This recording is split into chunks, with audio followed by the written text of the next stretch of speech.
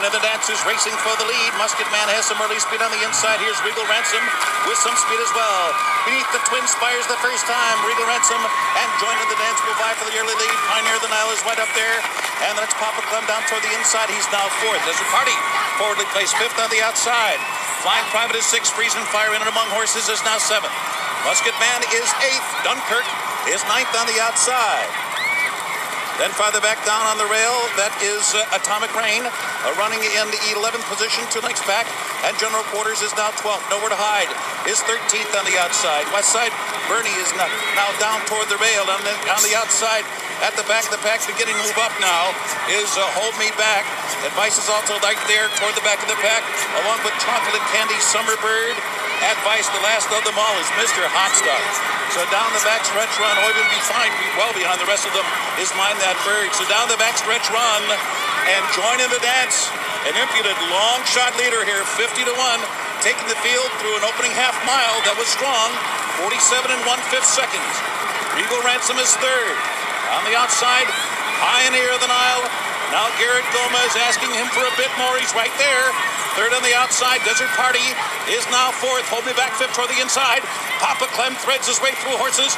From six now, Musket Man is now seventh. Chocolate Candy is beginning to come alive now, and he's eighth on the outside. Then down toward the rail, it's advice as the field turns for home. Top of the stretch, it's still Join in the Dance with a tenuous lead. Regal Ransom and Pioneer of the Nile strike the front just outside the eighth hole. Musket Man is coming hard down the center of the track, and Papa Clem's right there too. Down toward the inside, coming on through. That is uh, my that bird coming on to take the lead as they come down to the finish. And a spectacular, spectacular upset. Mine That Bird has won the Kentucky An impossible result here.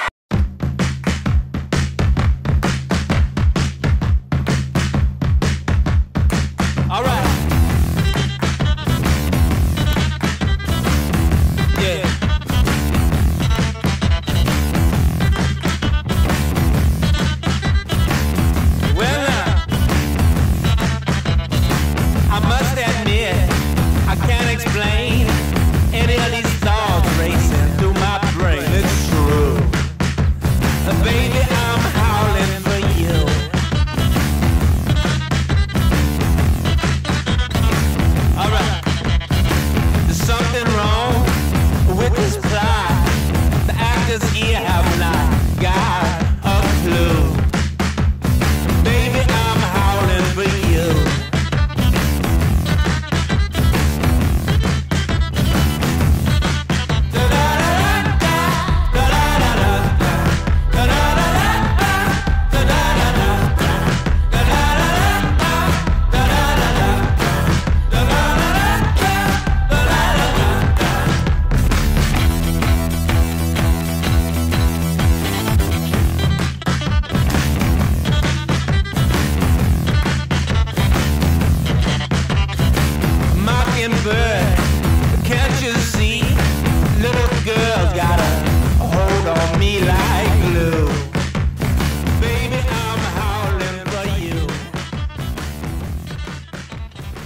Welcome back to Undoctrinated. Hello, everybody. This is a bonus episode. That's what I'm gonna call it. It's really just another episode. Well, it's a bonus. Exactly. It's a bonus for our faithful listeners. Yeah. Um, this is our Kentucky Derby special. The Kentucky Derby coming up here on Saturday, May 4th, I believe. Let me just double check that. Have you ever watched the Kentucky Derby, Natalie? Um, mm, Do you even know what the Kentucky Derby that is? you bet on in Las Vegas? Uh, you can definitely bet on the Kentucky Derby. Yes, it is May 4th, this Saturday. Um, that's where you um have the horses and they're going around, Let's see. Let, let me uh and then they have the little man that rides the horse, and they race, and you bet on. Little But everybody, tiny humans right? everybody wears like fan. Go in there, they wear those big hats. They're like helmets that kind of look like hats. No, not the those people. The people in the audience. Oh, yeah, yeah, yeah. Yeah, yeah. It's like they get all dressed up and they wear hats, and the ladies are all like, you know, housewife of Orange County lady types walking around there, and Uh huh. Which Yes, which like- leads me to the title of this episode. The Kentucky Derby is decadent and depraved by Hunter S. Thompson. That it is. I shall be reading that great work of Hunter S. Thompson. The great late work. Um, so I have an article here that I'm not going to read, but I'm going to skim through it. Kentucky Derby odds. Picks 2019. Omaha Beach. Maximum Security. Roadster. Predictions from Horse Racing Insider. I'm going with Roadster. yeah. That's the name of a horse? I think so. Yeah, Roadster. I like that name. Yeah. Let's see. Roadster's a winner. Arkansas Derby. Do, do, do, I don't know anything about horse racing. What I've is that from? the- Jeopardy? Yeah, that's, remember. Jeff- that's Okay. Jeff- Jeopardy. Um, just give me some odds. Okay, I'm gonna not look at this article. Let's go over the odds for the Kentucky Derby. What are how does that even work Betting for odds. horses? Oh, like let's say Roadster's like you mean like favored to win those types of odds? yeah, yeah, yeah, Okay, yeah. And they change for horse racing. Like, obvious. Well, obviously the odds change for everything, but even if after you place your bet, I think the odds can change on you in horse What? racing. That doesn't seem Yeah, fair. so the odds don't lock in until the race actually starts, I believe. Oh, but once the race is going, the odds don't change. No, yeah. Once the Oh, race is that's what I going, thought they're, you they're meant. locked in before the race starts. I thought you but- meant once the race starts, they can change the odds, and I'm like, how is that even fair? Okay, Kentucky Derby odds. Let's make sure. Yeah, 2019. Time to place your bets. Um. Okay, is this a? Oh yeah, these must be horse names. Another. Another twist of fate has 25 to 1. That's the fractional odds. oh, I thought that was the horse name. See, okay, Another twist of fate is the horse name. right. When it, twenty-five to one, I thought was the horse name too. Yeah. Um Bod Express 33 to 1. Bourbon War 25 to 1. The lower the number, the better, or the higher number. Lower number means The they're more favored to the win. Lower, yeah, the lower means they're more oh, favored. so bourbon so far is in the lead. Okay, Nope. Well, Bourbon War and another, another Twist of Fate are both 25 to 1. Oh, I thought you said it was 35. Bod, Bod Express is 33 to 1. So Oh, he's the long shot so far. yeah, okay. Uh, By My Standards 25 to 1. Code of Honor 16 to 1. Oh, Country House 50 to 1. 50? Yeah, he's he's or he or she is not the long shot here, but that is so far the long shot. Cutting humor twenty to one. Game winner seven to one. So that's the Wow. favorite so far. Yeah. Not the odds on favorite for the whole race. Um Gray Magician thirty five to one. Haikal twenty to one. Improbable is nine to one. These are some weird odds. Long range toddy, Oh, I like that name. 33 to 1. Little long range toddy. Master fence, 66 to 1. Maximum security, 10 to 1. Omaha Beach, 11 to 2. I don't understand these odds. They're very so all over the place. So Omaha Beach and Roadster are the favorites. Uh, Roadster is the slight favorite at 5 to 1. And Omaha Beach is just behind them at 11 to 2. Uh, Plus Que Parfait, 20 to 1. Signal Man, 40 to 1. Spinoff, 25 to 1. Sueno, 66 to 1. Tacitus, or Tacitus, I don't know what that is. 10 to 1. Tax, 25 to 1. Vekoma, 13 to 1. War of Will, 20 to 1. Win, win, win.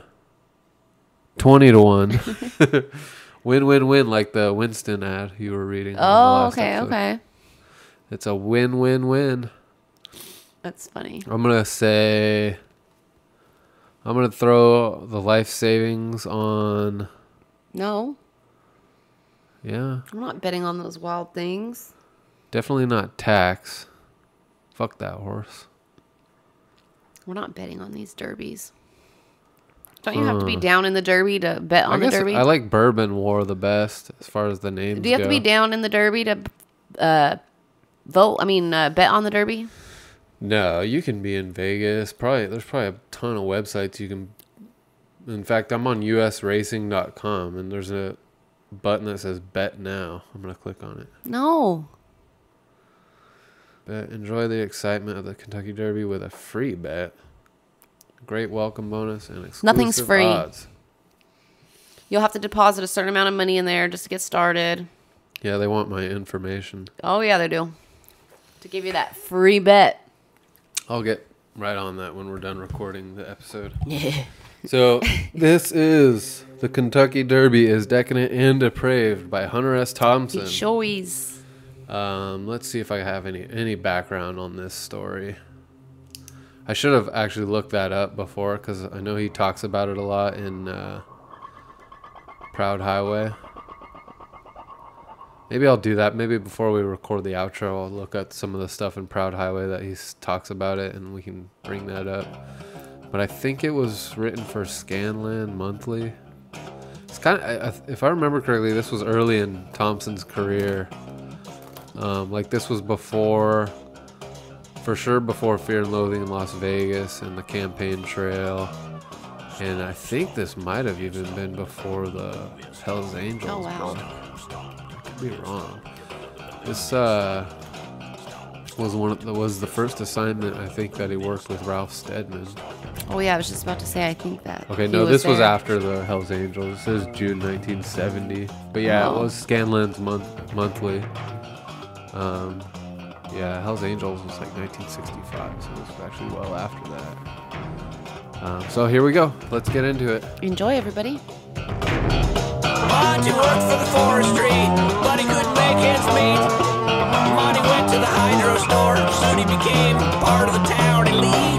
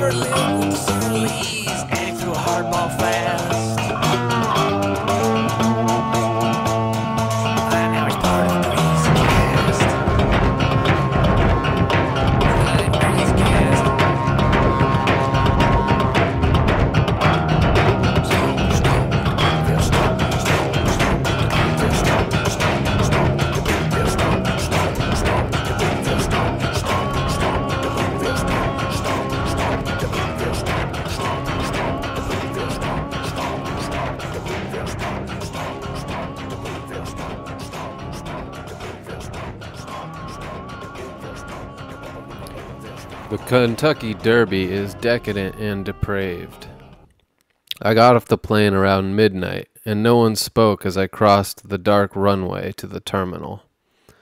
The air was thick and hot, like wandering into a steam bath. Inside, people hugged each other and shook hands, big grins, and a whoop here and there. By God, you old bastard, good to see you, boy. Damn good, and I mean it.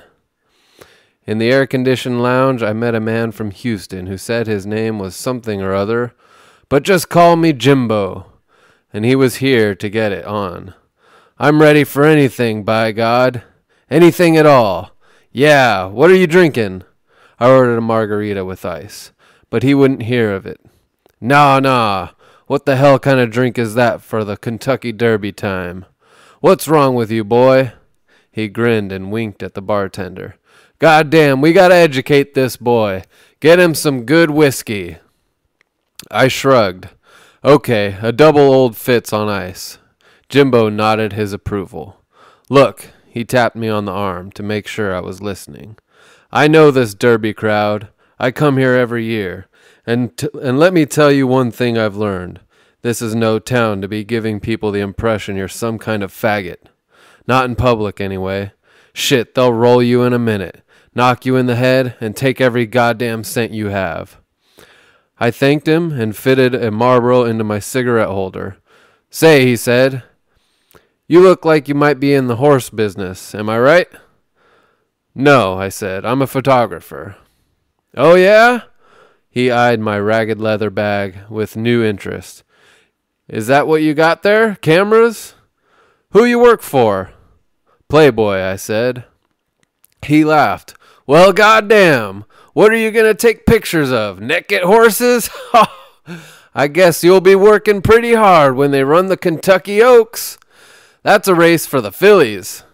He was laughing wildly. Hell yes! And they'll all be naked, too. I shook my head and said nothing, just stared at him for a moment, trying to look grim. There's going to be trouble, I said. My assignment is to take pictures of the riot. What riot? He hesitated, twirling the ice in my drink. I'm sorry, I hesitated, twirling the ice in my drink. At the track, on Derby Day, the Black Panthers. I stared at him again.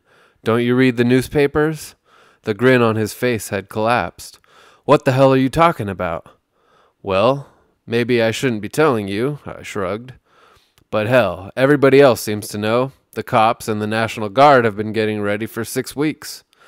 They have 20,000 troops on alert at Fort Knox. They've warned us, all the press and pho- photographers, to wear helmets and special vests like flak jackets. We were told to expect shooting.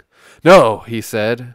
He shouted. His hands flew up and hovered momentarily between us, as if to ward off the words he was hearing. Then he whacked his fist on the bar. Those sons of bitches! God Almighty! The Kentucky Derby! He kept shaking his head. No, Jesus! That's almost too bad to believe. Now he seemed to be sagging on the stool, and when he looked up, his eyes were misty. Why? Why here? Don't they respect anything? I shrugged again.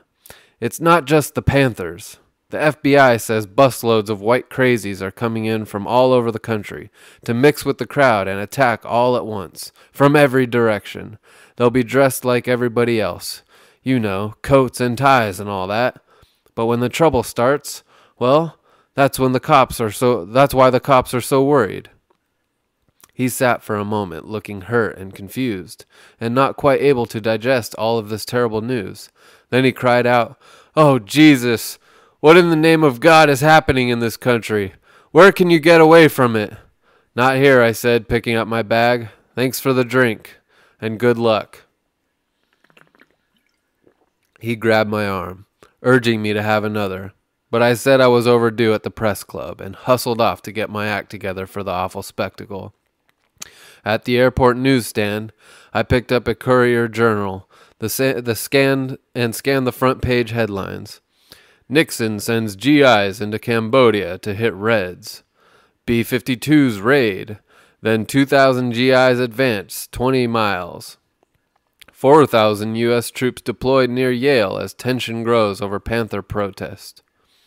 At the bottom of the page was a photo of Diane Crump, soon to become the first woman jockey ever to ride in the Kentucky Derby. The photographer had snapped her, stopping in the barn area to fondle her mount Fathom. The rest of the paper was spotted with ugly war news and stories of student unrest. There was no mention of any trouble brewing at a university in Ohio called Kent State. I went to the Hertz desk to pick up my car, but the moon faced young swinger in charge said they didn't have any. You can't rent one anywhere, he assured me. Our Derby reservations have been booked for six weeks. I explained that my my agent had confirmed a white Chrysler convertible for me that afternoon, but he shook his head. Maybe we'll have a cancellation. Where are you staying? I shrugged. Where's the Texas crowd staying? I want to be with my people. He sighed. My friend, you're in trouble. This town is flat full. Always is for the Derby. I leaned closer to him, half whispering. Look, I'm from Playboy. How would you like a job? He backed off quickly. What? Come on now. What kind of a job? Never mind, I said. You just blew it. I swept my bag off the counter and went, to find a cab. The bag is a valuable prop in this kind of work. Mine has a lot of baggage tags on it San Francisco, LA, New York, Lima, Rome, Bangkok, that sort of thing. And the most prominent tag of all is, is a very special plastic coated thing that says Photog Playboy Mag. I bought it from a pimp in Vail, Colorado, and he told me how to use it. Never mention Playboy until you're sure they've seen this thing first, he said. Then, when, when you see them notice it, that's the time to strike. They'll go belly up every time. This thing is magic, I tell you. Pure magic. Well, maybe so. I used it on the poor geek in the bar, and now, humming along in a yellow cab towards town, I felt a little guilty about jangling the poor bugger's brains with that evil fantasy. But what the hell? Anybody who wanders around the world saying, Hell yes, I'm from Texas, deserves whatever happens to him. And he had, after all, come here once again to make a 19th century ass of himself in the midst of some jaded, atavistic freakout with nothing to recommend it except to recommend it except a very sellable tradition. Early in our chat, Jimbo had told me that he hasn't missed a derby since 1954. The little lady won't come anymore, he said. She just grits her teeth and turns me loose for this one. And when I say loose, I do mean loose. I toss $10 bills around like they were going out of style. Horses, whiskey, women. Shit, there's women in this town that'll do anything for money. Why not?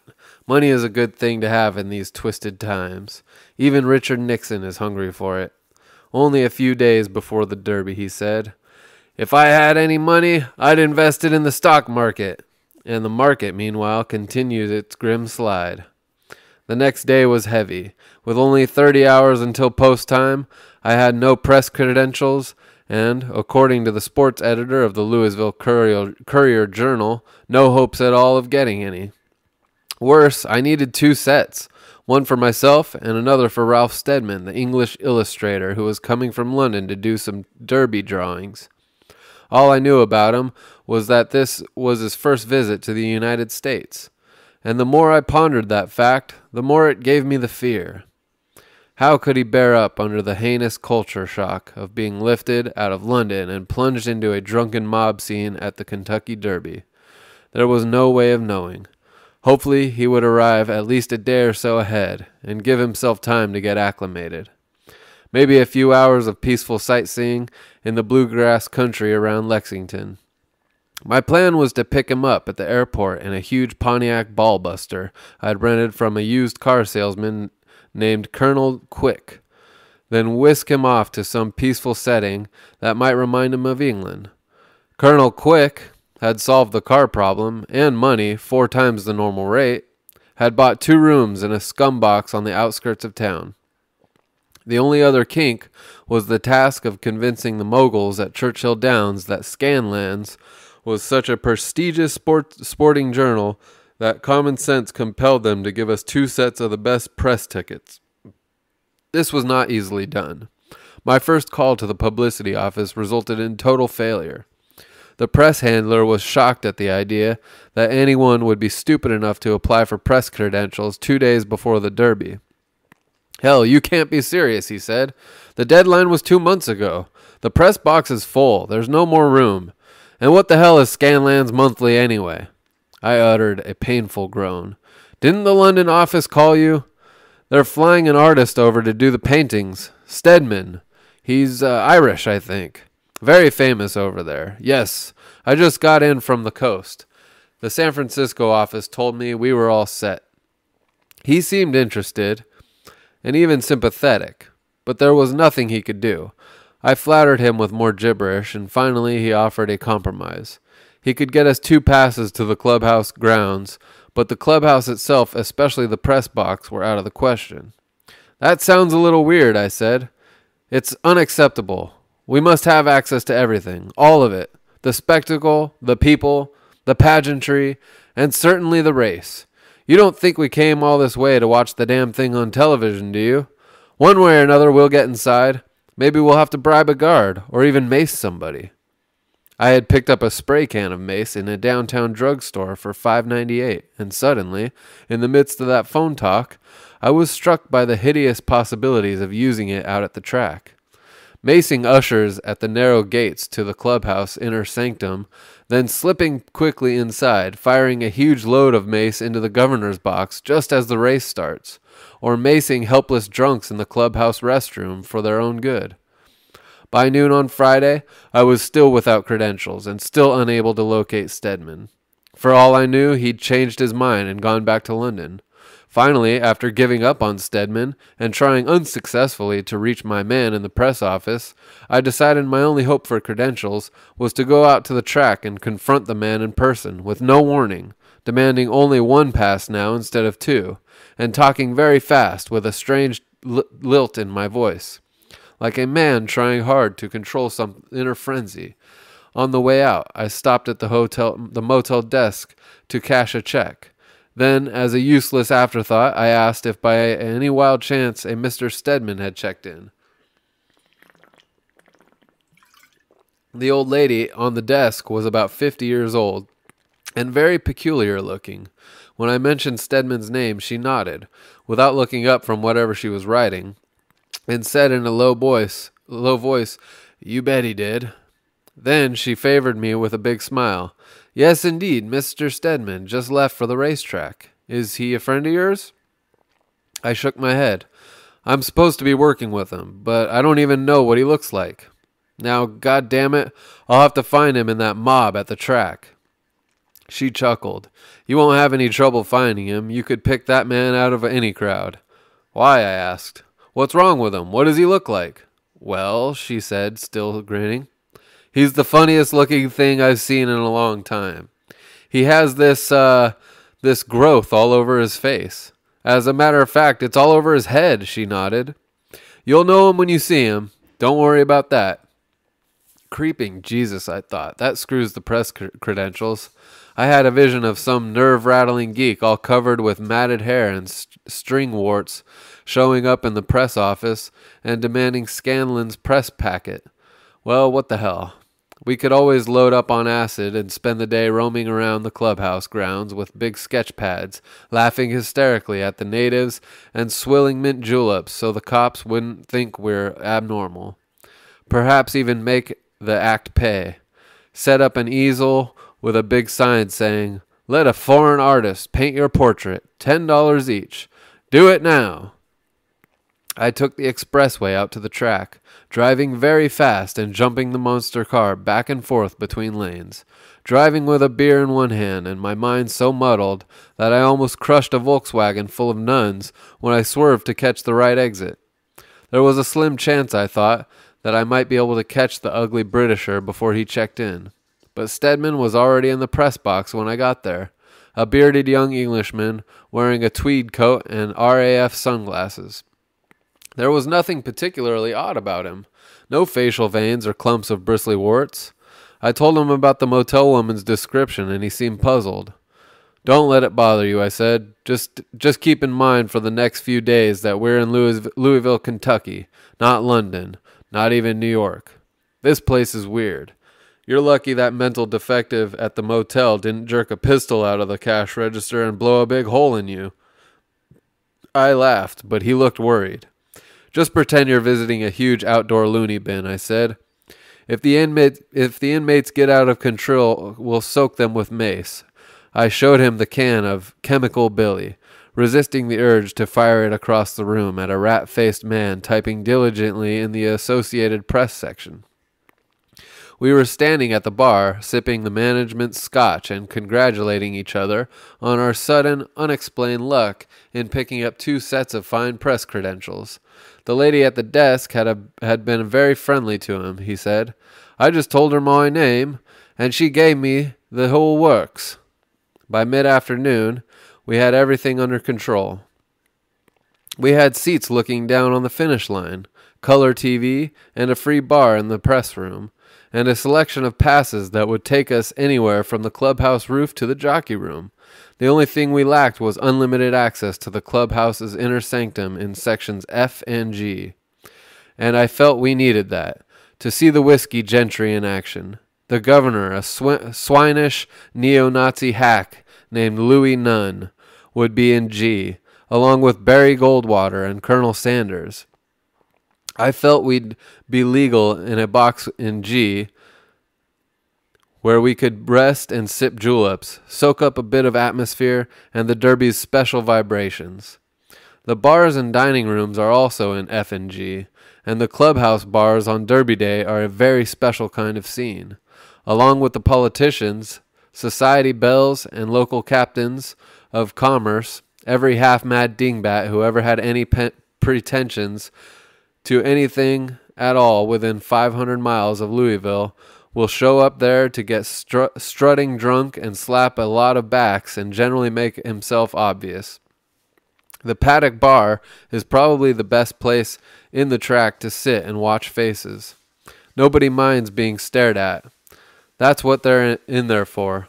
Some people spend most of their time in the paddock. They can hunker down at one of the many wooden tables, lean back in a comfortable chair, and watch the ever changing odds flash up and down on the big tote board outside the window.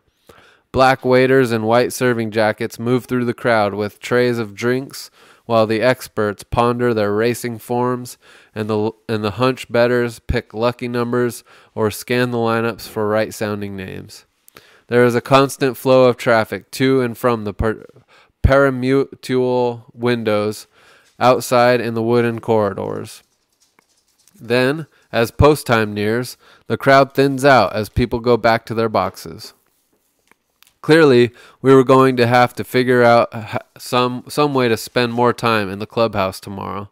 But the walk around press passes to F and G were only good for 30 minutes at a time, presumably to allow the newspaper types to rush in and out for photos or quick interviews, but to prevent drifters like Steadman and me from spending all day in the clubhouse, harassing the gentry and rifling the odd odd handbags or two while cruising around the boxes, or macing the governor. The time limit was no problem on Friday, but on Derby Day, the walk around passes would be in heavy demand. And since it took about 10 minutes to get from the press box to the paddock and 10 more minutes to get back, that didn't leave much time for serious people watching. And unlike most of the others in the press box, we didn't give a hoot in hell what was happening on the track. We had come there to watch the real beasts perform.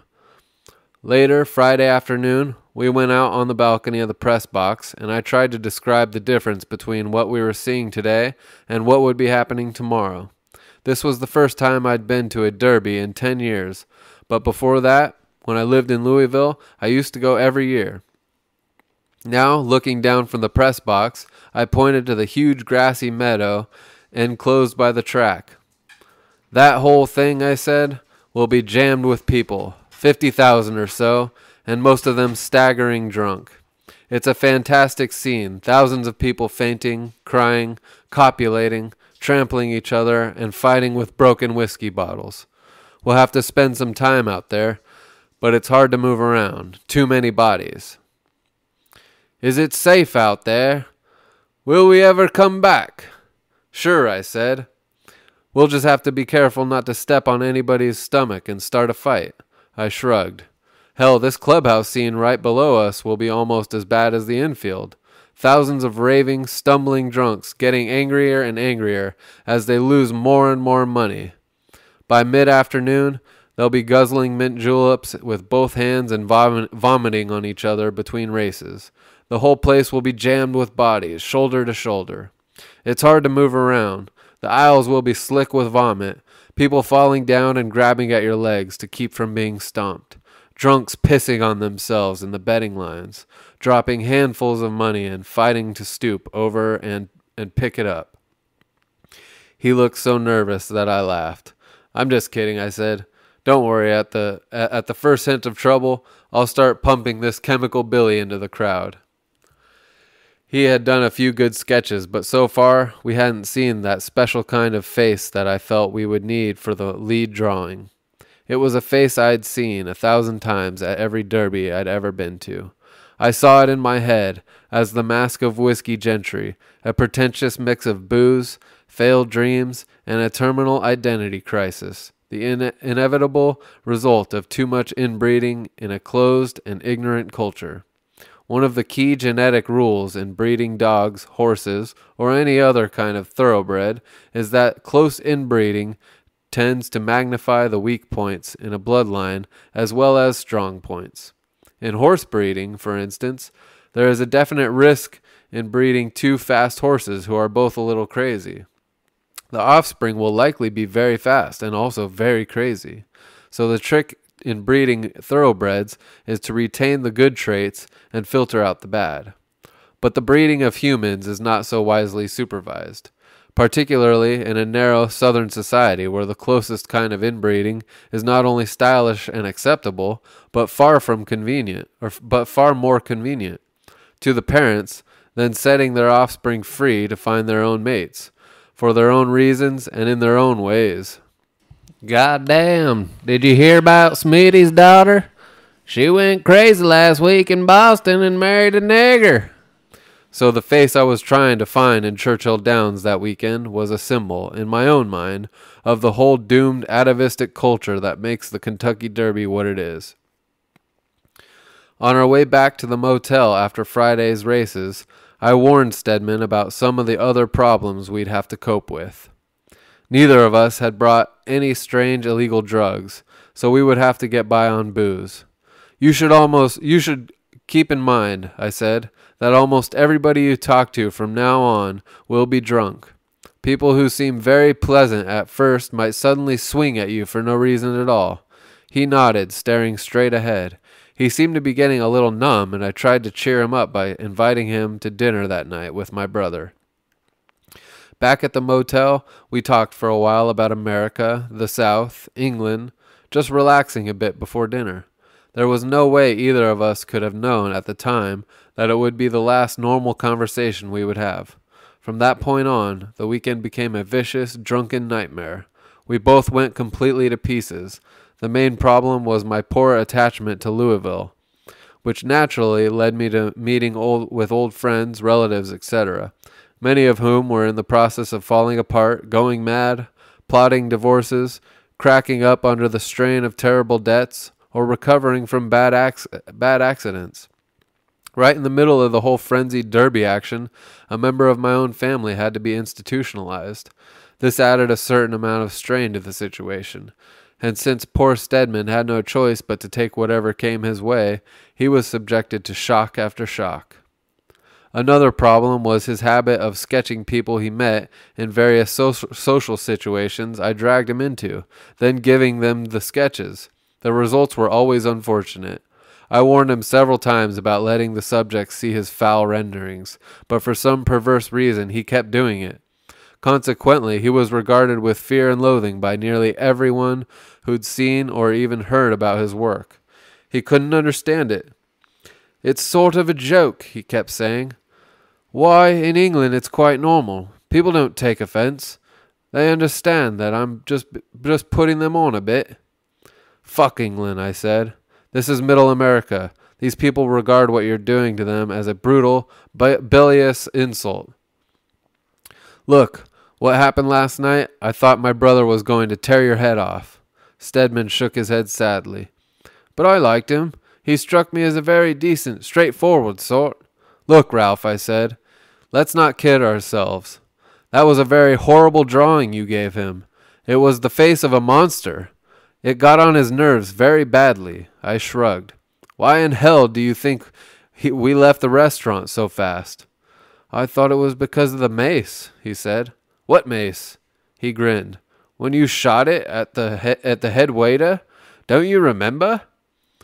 Well, that was nothing, I said. I missed him, and we were leaving anyway.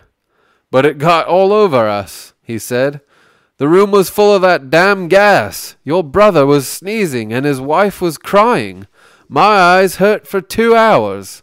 I couldn't see to draw when we got back to the motel. That's right, I said. The stuff got on her leg, didn't it?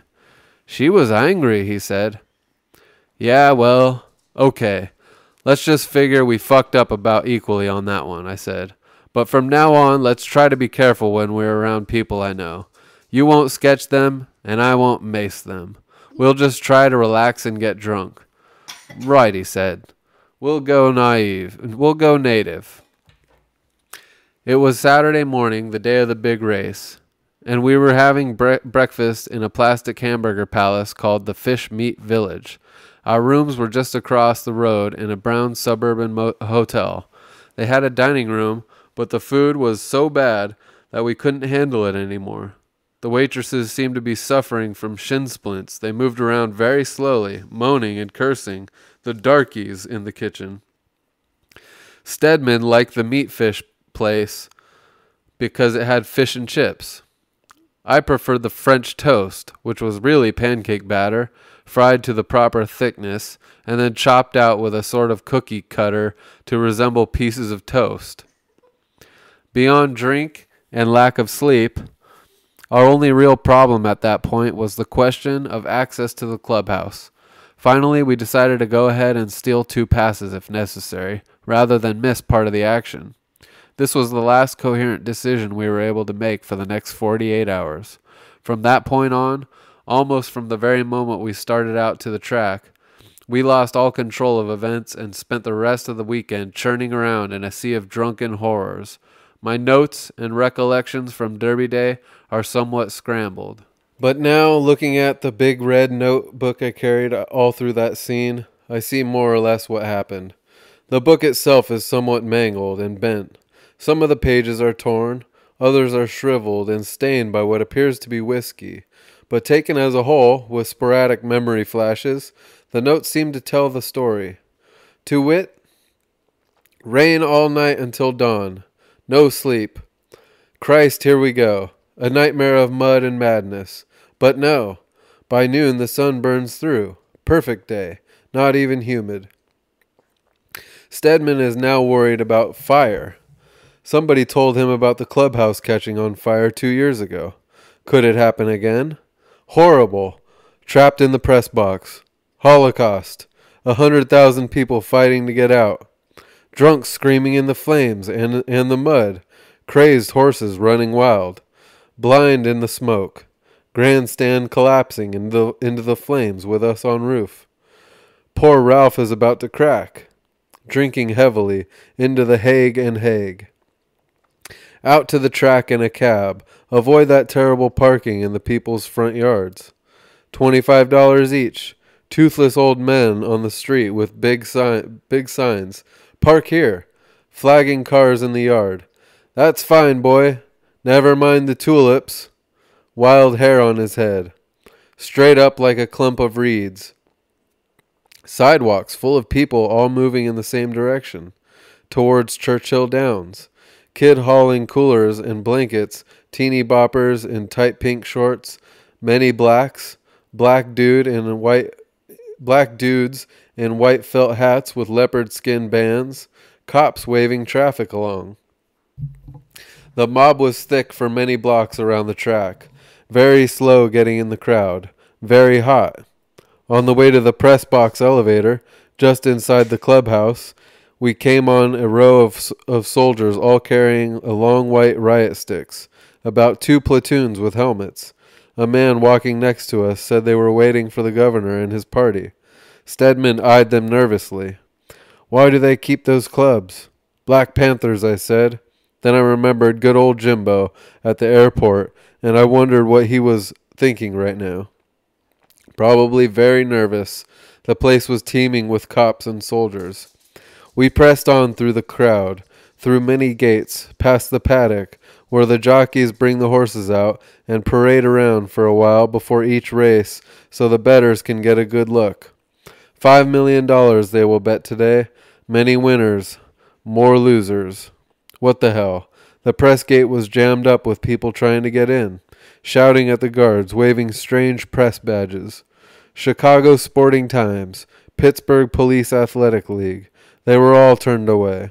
Move on, fella. Make way for more working more more of the working press. We shoved through the crowd and into the elevator, then quickly up to the free bar. Why not? Get it on. Very hot today. Not feeling well. Must be this rotten climate. The press box was cool and airy, plenty of room to walk around, and balcony seats for watching the race or looking down at the crowd. We got a betting sheet and went outside. Pink faces with stylish southern sag, old ivy styles, seersucker coats and button down collars. May blossom senility. Steadman's phrase. Burnt out early, or maybe just not much to, the, to bum in the first place. Not much energy in these faces, not much curiosity, suffering in silence. Nowhere to go after thirty in this life. Just hang on and humor the children. Let the young enjoy themselves while they can. Why not? The Grim Reaper comes early in this league. Banshees on the lawn at night, screaming out there beside the little iron nigger in jockey clothes. Maybe he's the one who's screaming. Bad DTs and too many snarls at the bridge club. Going down with the stock market. Oh Jesus, the kid was wrecked has wrecked the new car. Wrapped it around the big stone pillar at the bottom of the driveway. Broken leg, twisted eye. Send him off to Yale. They can cure anything up there. Yale? Did you see today's paper? New Haven is under siege. Yale is swarming with Black Panthers. I tell you, Colonel, the world has gone mad, stone mad. Why, they tell me a goddamn woman jockey might ride in the Derby today. I left Steadman sketching in paddock in the paddock bar and went off to place our bets in, on the fourth race. When I came back, he was staring intently at a group of young men around a table not far away. Jesus, look at the corruption in that face, he whispered. Look at the look at the madness, the fear, the greed. I looked, then quickly turned my back on the table he was sketching. The face he'd picked out to draw was the face of an old friend of mine, a prep school football star in the good old days, with a sleek red Chevy convertible and a quick and a very quick hand. It was said, with the snaps of a 32B Bras brassiere. They called him Catman. But now, a dozen years later, I wouldn't have recognized him anywhere but here, where I should have expected to find him, in the paddock bar on Derby Day. Fat, slanted eyes and a pimp smile, blue silk suit, and his friends looking like crooked bank tellers on a binge. Steadman wanted to see some Kentucky colonels, but he wasn't sure what they looked like.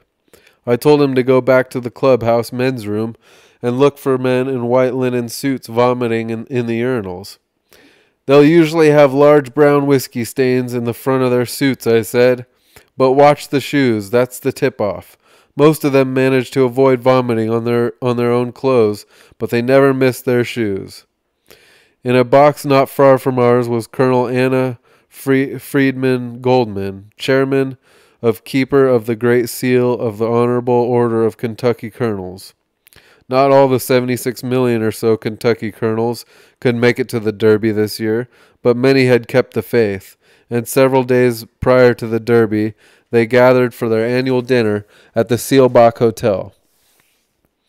The Derby, the actual race, was scheduled for late afternoon, and as the magic hour approached, I suggested to Steadman that we should probably spend some time in the infield, that boiling sea of people across the track from the clubhouse. He seemed a little nervous about it, but since none of the awful things I'd warned him about had happened so far no race riots, firestorms, or savage drunken attacks he shrugged and said, "Right, let's get let's do it." To get there, we had to pass through many gates, each one a step in a step down in status, then through a tunnel under the track. Emerging from the tunnel was was such a culture shock that it took us a while to adjust. God Almighty, Steadman muttered. This is a Jesus. He plunged ahead with his tiny camera, stepping over bodies, and I followed, trying to take notes.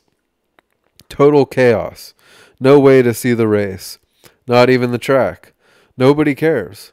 Big lines at the outdoor betting windows, then stand back to watch winning numbers flash on the big board like a giant bingo game. Old blacks arguing about bets. Hold on there, I'll handle this. Waving pint of waving pint of whiskey, fistful of dollars. Girl riding piggyback. T-shirt says stolen from Fort Lauderdale jail. Thousands of teenagers, group teenagers, group singing, "Let the sun shine in." Then soldiers guarding the American flag and a huge fat drunk wearing a blue football jersey, number 80, reeling around with a quarter a quart of beer in, in hand. No booze sold out here, too dangerous. No bathrooms either. Muscle Beach, Woodstock, many cops with riot sticks, but no sign of a riot. Far across the track, the clubhouse looks like a postcard from the Kentucky Derby. We went back to the clubhouse to watch the big race. When the crowd stood to face the flag and sing My Old Kentucky Home, Steadman faced the crowd and sketched frantically. Somewhere up in the box boxes a voice screeched, Turn around, you hairy freak!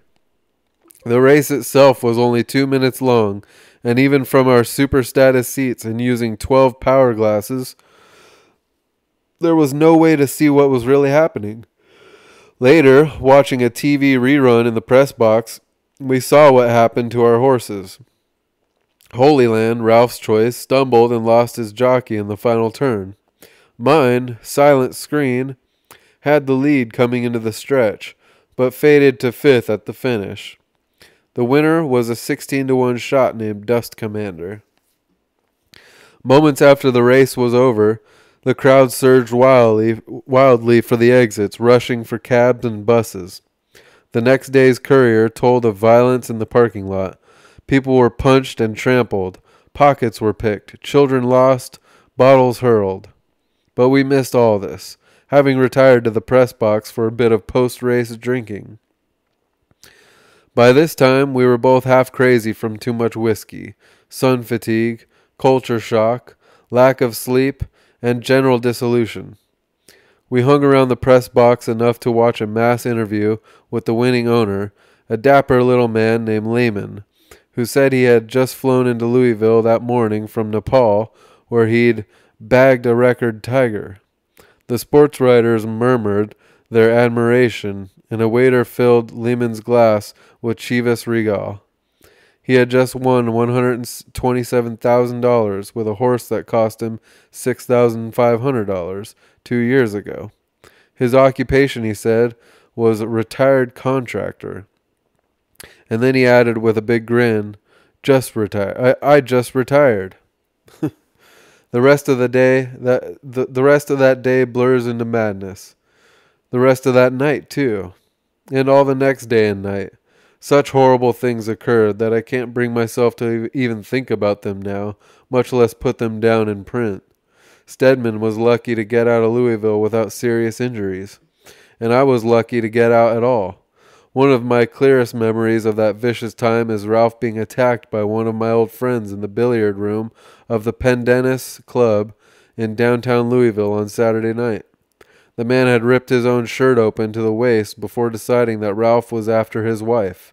No blows were struck, but the emotional effects were massive.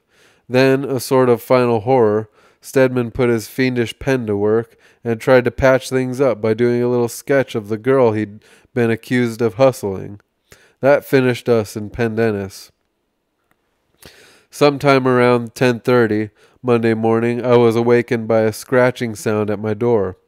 I leaned out of bed and pulled the curtain back just far enough to see Steadman outside. What the fuck do you want? I shouted. What about having breakfast? he said. I lunged out of bed and tried to open the door, but it caught on the night on the night chain and banged shut again. I couldn't cope with the chain. The thing wouldn't come out of the track. So I ripped it out of the wall with a vicious jerk on the door. Ralph didn't blink. Bad luck, he muttered. I could barely see him. My eyes were swollen almost shut, and the sudden burst of sunlight through the door left me stunned and helpless like a sick mole.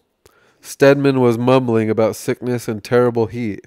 I fell back on the bed and tried to focus on him as he moved around the room in a very distracted way for a few moments, then suddenly darted over to the beer bucket and seized a Colt 45. Christ, I said, you're getting out of control. He nodded and ripped the cap off, taking a long drink. You know, this is really awful, he said finally. I must get out of this place. He shook his head nervously. The plane leaves at 3 at 3:30, but I don't know if I'll make it. I barely heard him. My eyes had finally opened enough for me to focus on the mirror across the room, and I was stunned at the shock of recogni- recognition. For a confused instant, I thought that Ralph had brought somebody with him, a model for that one special face we'd been looking for. There he was, by God, a puffy, drink ravaged, disease ridden caricature, like an awful cartoon version of an old snapshot in some once proud mother's family photo album. It was the face we'd been looking for, and it was, of course, my own. Horrible. Horrible. Maybe we should sleep a while longer, I said. Why don't you go on over to the fish meat place and eat some of those rotten fish and chips?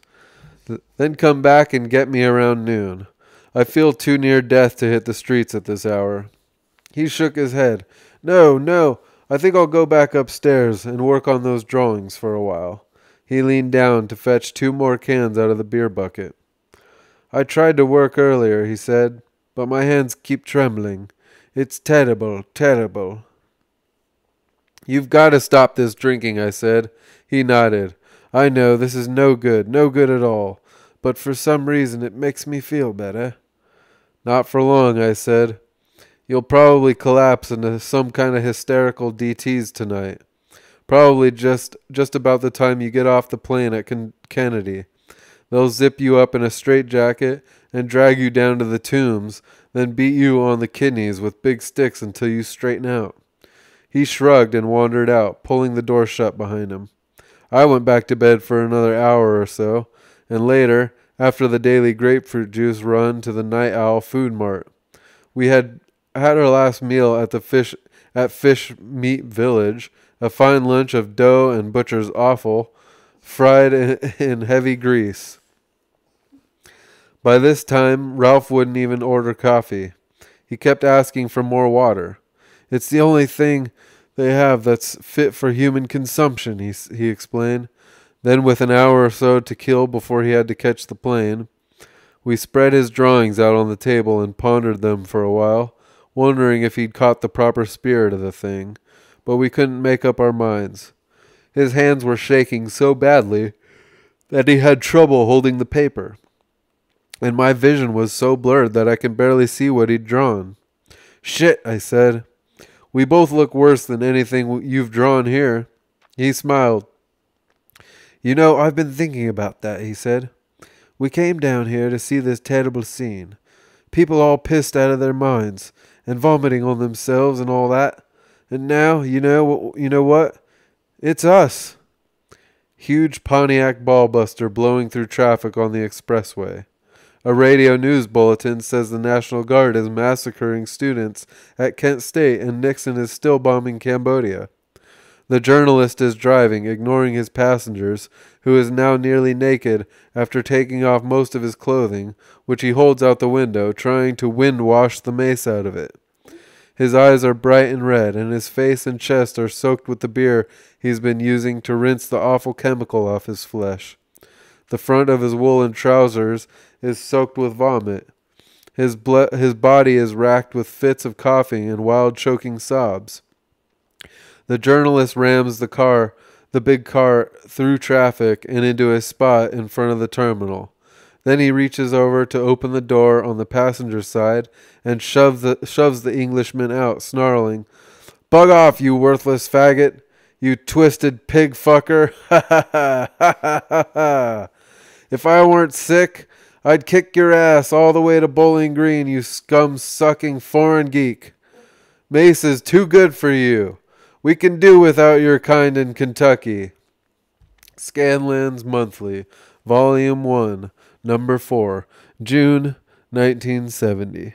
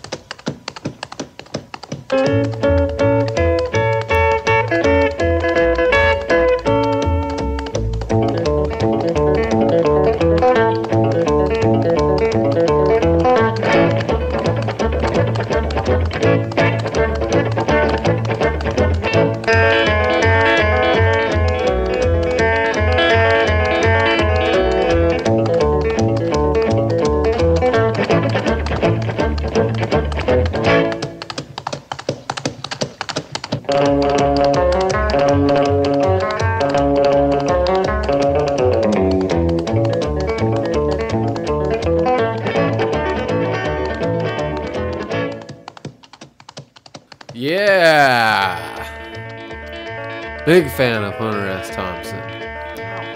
Yes. You okay? Yeah. He's great. No, don't be sorry. Yeah, he's great. Um, yeah. If uh, there are any other big fans of Hunter S. Thompson listening out there, you probably know he was an avid letter writer. Um, in fact, was. hundreds of his letters are published, um, and you can find them in uh, the Proud Highway and this piece, uh, or sorry, this book, um, Fear and Loathing in America is, uh, is a publishing of, of a bunch of Thompson letters from like 1968 to like the mid 70s or something. So that's where I went uh, to look for the Kentucky Derby letters or the letters related to the Kentucky Derby piece since it was written in 1970 and I found a plethora. Plethora, Natalie. Gold mine, huh? It- yeah, it's a gold mine. There's some good shit I'm about to read for you in here. So, Nice. um, this first one is to Warren Hinckle. He's the possibly the owner or maybe the lead editor of Scanlan's Monthly, the publication that um, Thompson was writing for when he went to cover the Kentucky Derby.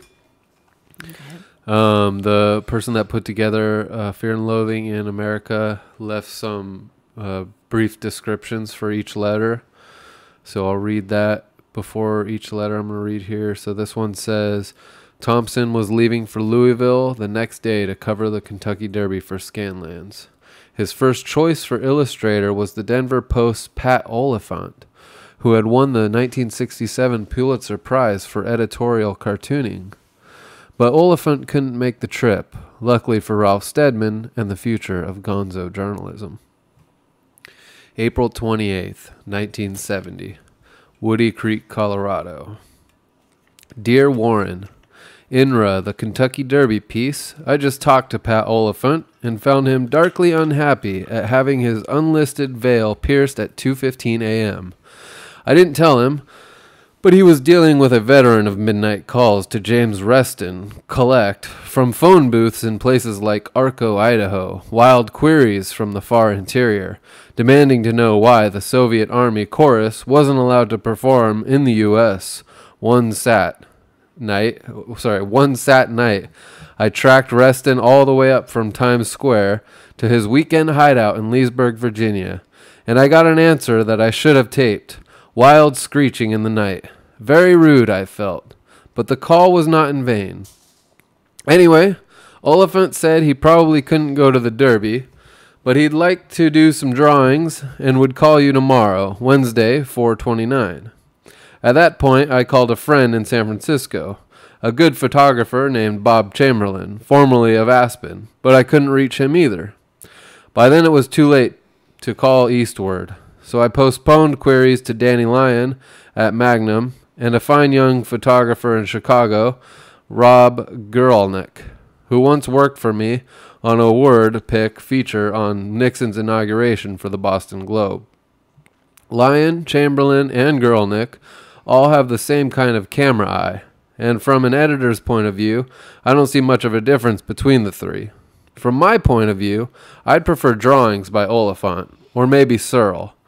But shit, by the time you get this, we'll have settled all we'll have settled all that anyway. So no point in hassling it any further for now. I'll be talking to you in a few hours. So, as far as I'm concerned, off to, to off tomorrow for Louisville. The next step, as I see it, will be to rush up to the horse breeding country around Lexington, 80 miles, if there's time, or if not, get out to the track and hang around the stables for a day or so, then hunker down in the awful social whirl. The story, as I see it, is mainly in the vicious drunk southern bourbon horse shit mentality that surrounds the Derby than in the Derby itself. And, as a human product of that culture mentality, I think I can see it pretty clear. My first stop in Louisville will be at my mother's apartment, or Mrs. Virginia Thompson at the Louisville Free Public Library. You can reach me through her, although I may or may not be staying there, depending on whether my brothers are there with their families. And if all else fails, assuming you want to reach me for some or any reason, try calling me care of Jim Pope at the Louisville Courier, Courier Journal and Times. I'll check with him tomorrow about press credentials, etc. Otherwise, I'll figure on getting you at least 5,000 words, or somewhere between 5,000 and 10,000, by Thursday of next week, May 7th. I'll try for Wednesday, or maybe even Tuesday, if I stay in Louisville to write the thing, instead of rushing back here. Probably I'll do that.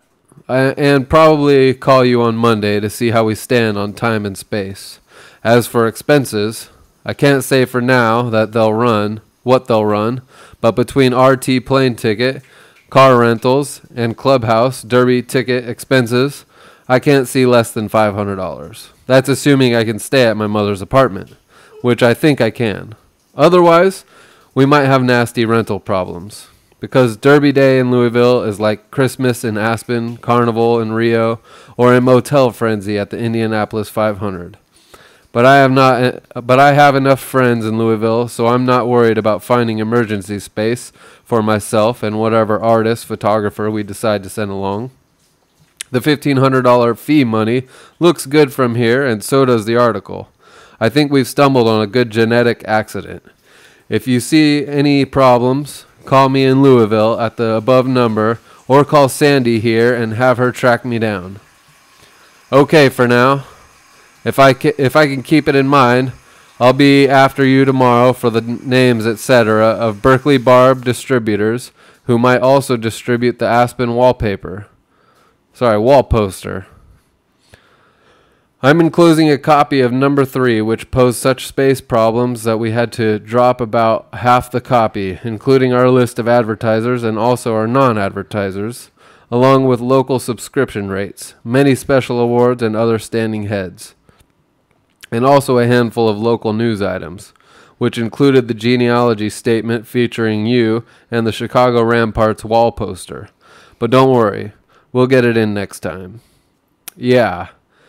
And I'm serious about running a Hinckle mugshot with the genealogy statement. So if you have one around for general PR purposes, send it along. Mm-hmm. But for Christ's sake, don't send anything slick or straight. We need photos that will make people puke and howl for their lawyers. With only one page, you have to bear down. And that's it for now. I have to get some sleep before rushing off to confront my festered childhood. God's mercy on us all. Sincerely, Hunter S. Thompson. And uh, this next one is to Pat Oliphant, the uh, illustrator from the Denver Post. This was April 29th and 30th, 1970, Woody Creek, Colorado. Dear Pat, your call a few moments ago caught me on the way to bed, hoping to get around three hours sleep before zapping off in the great white sky to Louisville for the annual horse shit and bourbon orgy. Sorry you couldn't make it. As I told Hinckle, I can't think of anyone who could do that kind of scene as well as you, as well as you could, even Searle or Magnum photographers. So probably what I'll do is now is locate a kid photographer in Chicago who worked with me on a Nixon inaugural piece. He had a fine, strange eye. Anyway, I won't be getting to bed today, blowing off for Kentucky in a few hours. But if I get hung at Denver airport, I'll give a call and maybe we can have a drink. Otherwise, I'll try to catch you on my way back next Wednesday, May 6th, and maybe we can figure out a fine American folk scene we can do together. Maybe the Indianapolis 500 or a Labor Day picnic in Detroit. Whatever's right. Meanwhile, I'm enclosing copies of the first three issues of the Aspen Wall Poster, a total experiment in the unworked fields of the newest new journalism. Sometime this summer, we may try to pressure you into doing a cover for us, on the order of Malden's cover for the Chicago Journal Journalism Review. But I'll talk to you before then. And if I miss you in Denver, come on over to Woody Creek for a few crazed days, any time. Just give a ring far enough ahead to be sure I'm here, which is almost all of the time. We have a huge house with plenty of space for anything you want to bring kids, dogs, bikes, guns, whatever, even wives. As for the wall posters, I can't apologize for all the wretched mistakes, but if you read the copies in order one, two, three, you'll see that we're beating them mainly by firing all the printer's experts. Fuck them. They should they should be put in welfare camps for the congenital congenitally incompetent. Okay, for now, I have to get upstairs and call Hinckle and get my plane ticket and call my poor mother to warn her that I'm coming back once again to whip the shit out of everything I was raised and brought up to hold dear. Salah. And okay, next one is to Bill Cardoso of the Boston Globe. The description uh, for this letter it says, at the last minute, Scanlan's Monthly assigned British illustrator Ralph Steadman, known for his work in the Times of London and England's political satire magazine Private Eye, to accompany Thompson to the Kentucky Derby. Steadman's savage, dead on drawings would define the gonzo look. May 15th, 1970, Woody Creek, Colorado. Billy, your letter was waiting for me last week when I got back from Louisville. Very weird. I went there to write a strange piece on the spectacle for Scanlan's Monthly, and the whole scene nearly killed me, along with the British illustrator on his first trip to the U.S. See Scanlan's number 4, June, I think, for details. It's a shitty article, a classic of irresponsible journalism, but to get it all done at all, I had to be locked in a New York hotel room for three days with copy boys collecting each sheet out of the typewriter as I wrote it, whipping it off on the telecopier to San Francisco where the printer was standing by on overtime. Horrible way to write anything. Anyway, you should have given a ring or hung around long enough to get in, into the Derby action with us. I was there about seven days, then up to New York for the final writing. Horrible, horrible. Maybe you can zap out here and do a story on new journalism and newer politics in Aspen. I am running for sheriff in the fall. We're about to take over the town. Okay for now. Let me know if you or Susan can find us any outlets. Thanks. Hunter. The next letter was again to Warren Hinckle of Scanlan's Monthly. This description says Thompson and his new British cohort put themselves in quite a mint julep haze through Derby week in Louisville. The result was the brilliantly written and illustrated article, The Kentucky Derby is Decadent and Depraved, which appeared in the June 1970 issue of Scanlan's. The bylines read, Written under duress by Hunter S. Thompson, and Sketched with eyebrow pencil and lipstick by Ralph Steadman. Mm-hmm. May 15th, 1970, Woody Creek, Colorado. Dear Warren, well, what the fuck can a human being say after a scene like that last one? I just read over the Derby article for the first time, and it strikes me as a monument to whatever kind of limbo exists between humor and tragedy.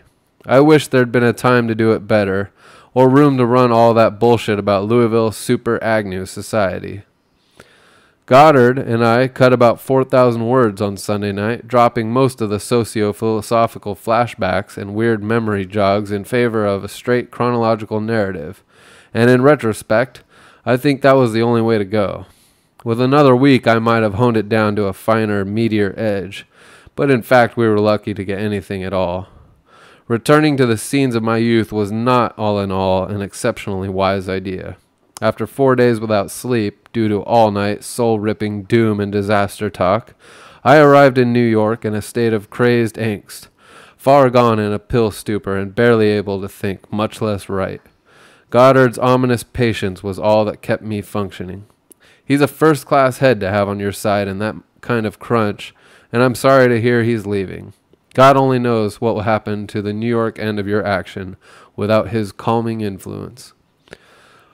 On the several occasions when I nearly ran amuck, particularly when I lost my wallet with all cash and credit cards in a tavern mob watching the Knicks Lakers game on TV, Goddard's steady hand was only was the only anchor in town. Once again, he's good, and I hate to see him go. Which is neither here nor there for now, particularly in light of the heinous imbrog- imbroglio I made myself a party last to last weekend. I was never sure what was happening or why in terms of timing, but early on I had the feeling that I should have gone to San Francisco instead of New York to do the writing. The Royalton was fine, but I'd have have been a hell of a lot happier and probably more functional if I'd been in a position to know what was going on. But what the hell? We're over that hump now, for good or ill, and my only consolation in reading the article is that I helped Steadman get his drawings. He's good, probably better than anybody working in this country, but they didn't like him in Louisville, and not at the New York Times either. The Times offered him a job, but turned down all his ex- extant, extant drawings of Nixon, etc. As for Scanlan's general action, well, what little I saw of the New York scene leaves me slightly worried. Something is badly lacking in, in the focus, the main thrust, and ten thousand dollars ten thousand dollar ads in the New York Times only emphasize what's missing, which is none of my business really, and most definitely out of place after putting you through all that jangled action last week. But under normal sleep cur- cured conditions and a fairly straight head, I'd like to see Scanlan's work. Maybe it is, but the vibes I got in New York were somewhat mixed, and the only cure I can see is the, is impossibly drastic. The fucker should work. It's one of the best ideas in the history of journalism, but thus far the focus is missing, or maybe it just seems that way to me. Perhaps something missing in my something is missing in my own focus. And I won't argue that, but well, I suspect there's a heavy difference between Scanlan's problems and mine. But maybe not. And fuck the whole business anyway. I have enough problems with this goddamn one page wall poster and my slow boiling sheriff's campaign. Fear and loathing in the outback. Fuck them. We will beat them like gongs. Not many months left in this era. Not even a year, as I see it, and maybe less. Maybe it's already gone. Which hardly matters for now. All I really meant to do here, when I started, was to say that I wish I could have written a better derby piece, and also to advise you to send my check to Lynn Nesbit at the International Famous Agency, 1301 Avenue of the Americas, New York City, 10019. My advisors have warned me that agents get 10% of everything, fair, foul, or otherwise. Why not? And if ever, in small moments, I might chance to feel a hair guilty for not coughing up a super organized soul piece, all I have to do is summon up the memory of Sidney booming off at dusk to Gallagher's and then to the garden, hunkered down in a soft back seat of that gray Cadillac with his evil chauffeur and bodyguard. Christ, I asked that surly middleweight fucker if there's if there was any ice in the bucket in Sidney Lyon's office, and he looked at me like it was all he could do to restrain himself from ripping out my floating rib and eating it. I was tempted to mace the bastard, but instead I backed off and went downstairs to have a scotch with poor Steadman. Indeed. And in closing I remain, yours for peace in our time, Hunter. All right, I've got a couple more letters I really got to read about this Kentucky Derby piece. Let me find them here. These are all these are all written obviously as you could kind of hear they're written during the time he was about to prepare for his campaign for sheriff. So this was around that same Nice. era of Thompson existence and work. Okay, the next one is to Lynn Nesbit, who is uh, Thompson's agent. Says the Kentucky Derby story came out so well, Thompson told his agent to try and sell it in Hollywood. May 21st, 1970, Woody Creek, Colorado. Dear Lynn, Here's a ragged copy of the Kentucky Derby piece I did for Scanlan's. No clean copy exists, due to the due to circumstances beyond my control at the time. I was locked in that stinking hotel room with my head full of pills and no sleep for six days, working at top speed and messengers grabbing each page out of the typewriter just as soon as I finished it. No carbon, no rewrite, no time to even look back on what I'd written earlier. But what the hell? My main concern now is to get paid for the rotten ordeal because I have no money. And by my and by my count, Hinckle owes me or us, as it were, a total of nineteen hundred and seventy-seven dollars and twenty-seven cents.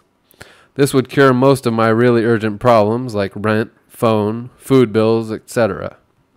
I can't imagine Hinckle refusing to pay the tab, so unless you foresee real problems, you might consider just sending me a check as soon as possible like maybe today or yesterday. In any case, please let me know on this score. Thanks. And meanwhile, here's an odd notion that stuck in my head after Carol, far gone in a fit of levity during our phone talk, mentioned something about selling this Derby ordeal as a film of some sort, which strikes me now as a notion of exceptional merit. No question about it, about it at all. What we have here is a classic of the narrative art. The strange and heartwarming story of a wild haired English artist and a crazed expatriate Southern journalist hurled into the, into the maw of the heinous Kentucky Derby spectacle. Indeed, their hopes, their fears, and their final dissolution against this awful background. I see it as a combination of Doctor Strangelove and Gone with the Wind. And on that basis, I urge you to sell it at once.